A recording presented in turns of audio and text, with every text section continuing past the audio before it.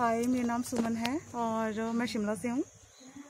हमेशा हमारे जो नवरात्रे हैं वो बहुत ही धूमधाम से मनाए जाते हैं। दुर्गा पूजा यहाँ पर बहुत ही धूमधाम से मनाई जाती है।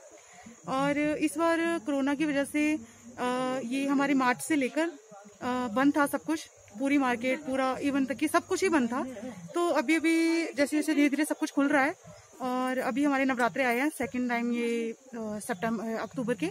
तो इसमें भी लोगों को थोड़ी एक्सपेक्टेशन थी कि मंदिर खुलेंगे, प्रसाद चढ़ेगा, हम मंदिर जाएँगे।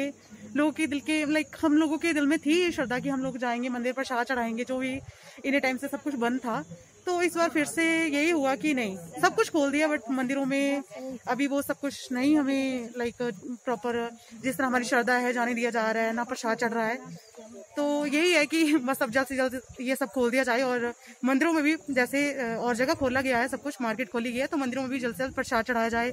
जो और श्रद्धालु बैठे हैं, जिनकी मन्नतें हैं, कुछ चढ़ाने की, कुछ भी है, श्रद्धा है तो श्रद्धालु अपने अकॉर्डिंग जो भी वो, उनकी श्रद्धा है, वो वो सब माँ को चढ़ा सके।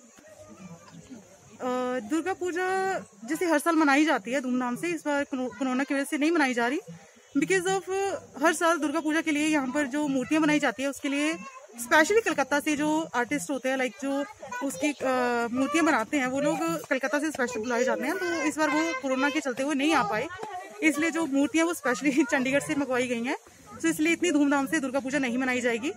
नॉर्मल सिर्फ़ मंदिरों में पूजा पाठ किया जाएगा, और बस इस तरह, इस बार सब कुछ ऐसे ही है नॉर्मल है। सो so, हम बस यही चाह रहे कि नेक्स्ट ईयर फटाफट आए और फटाफट हम दुर्गा पूजा के फिर से आनंद ले सके और दुर्गा पूजा को एंजॉय कर सकें और अपनी श्रद्धा के अकॉर्डिंग मंदिर में आकर मथा टेक सके और जो भी हमारी श्रद्धा है हम चढ़ा सके। That's it